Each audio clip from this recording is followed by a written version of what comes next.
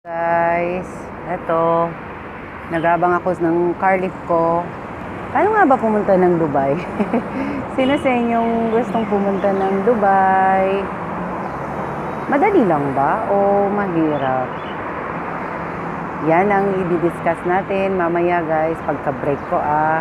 Pag-usapan natin paano nga ba talaga makapunta ng Dubai?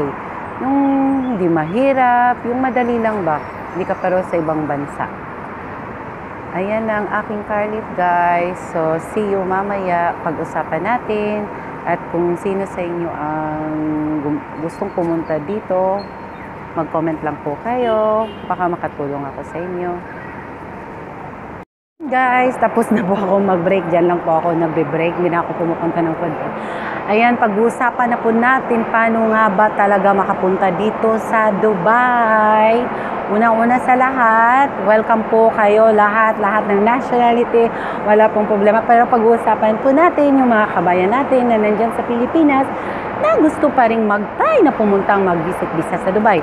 Unang-una sa lahat, kailangan may relatives po kayo, syempre. Or sister, kamag-anak, kahit sino po. Or kahit ng mga friends nyo lang po, yun lang po talaga. At saka, yung requirements is, uh, yung ano, birth certificate at saka passport po. Yun talaga ang kailangan para makapag-visit visa kayo dito sa Dubai. At syempre, kailangan ng pera. Pero pag may sponsor kayo, wala ng problema ng pera. Katulad sa akin, salamat sister. Kasi inisponsoran ako ng aking sister para makapunta dito sa Dubai. Thank God talaga. Super thank you. It's God's will. Uh, hindi ko akalain na makabalik ako dito sa Dubai. So, paano? Um, ipaalam nyo po sa ano nyo, kamag-anak nyo na pupunta kayo dito sa Dubai. So, isi-send nyo lang po, i-scan nyo lang po yung uh, birth certificate nyo. Uh, kuha lang kayo sa ano sa yung original ha, hindi yung fake ha. At make sure na kapareho ng ano ng family name or kung relatives yung middle initial basta yung may same ano kasi mas madali kasi check talaga yan sa ano sa immigration dito uh, sa Pinas. Tapos yung uh, passport copy dapat hindi po siya expired at least 6 months po. So kumuha na lang kayo dyan kung expired na yung passport nyo at tapos, iscan nyo lang po, isend nyo lang po sa taong mag-visit visa sa inyo. Kung sister nyo, send nyo lang po. Tapos, yung mag-visit visa sa inyo na nandito na sa Dubai, sila po ang magpa-process niyan. Pupunta po sila ng immigration, lahat ng papers, lahat ng documents, sa, kanan, sa kanila na po lahat yon So, wala na kayong iisipin guys. Ang sa inyo na lang, antayin nyo na lang kung i-approve dito sa Dubai. At saka isa pa pala, uh, syempre picture nyo dapat white background, tapos hindi mo kailangan magandang maganda, hindi mo kailangan maganda. Eh, syempre at least malinis siya. Yun lang, uh, birth certificate, passport, at saka picture, at saka syempre pera. At saka nasa mga around uh, 3,000 to 4,000 dirhams. So sa mga peso isa nasa ano siya, mga 40 to 50,000 dirhams. Pero kung gusto niyo pong makamura kasi mura lang po talaga ang ano yung visa uh, papunta dito ng Dubai pero mamahalan kayo sa ano um, sa ticket pero kung gusto niyo makamura sa ticket kung kayo mismo ang kukuha magpa-book na lang kayo pero make sure na approve na po yung uh, visa nyo, yung visit visa nyo papunta dito ng Dubai bago kayo kumuha ng ticket. Make sure po guys. Kasi ang hirap-hirap po na kumuha kayo na ng ticket, nagpabook na kayo, ay hindi naman po pala approve dito sa Dubai.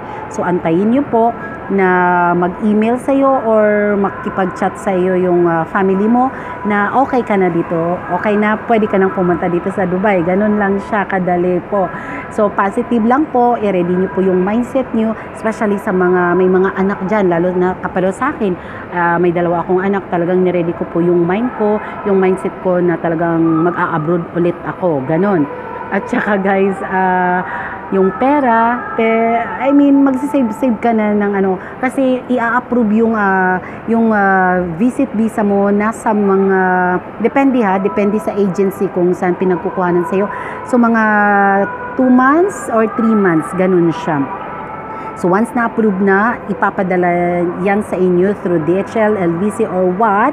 So once na sa inyo na po yung uh, inyong uh, lahat ng papers, ah, dalhin niyo po yung original copy ng inyong passport at saka yung ano yung birth certificate. Kasi pagpunta niyo po sa ano sa sa airport i-check talaga yan doon.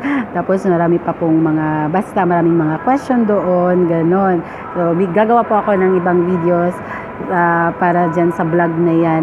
Ganun lang po guys. Ganun lang kadali. Mag-visit visa dito sa Dubai. Good luck sa inyo kung sino yung gustong pumunta dito sa Dubai.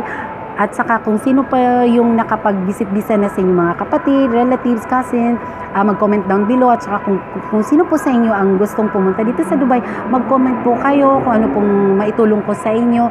That's it guys. Sana po nag-enjoy kayo sa aking munting vlog today. Paano ba makapunta as visit visa dito sa Dubai?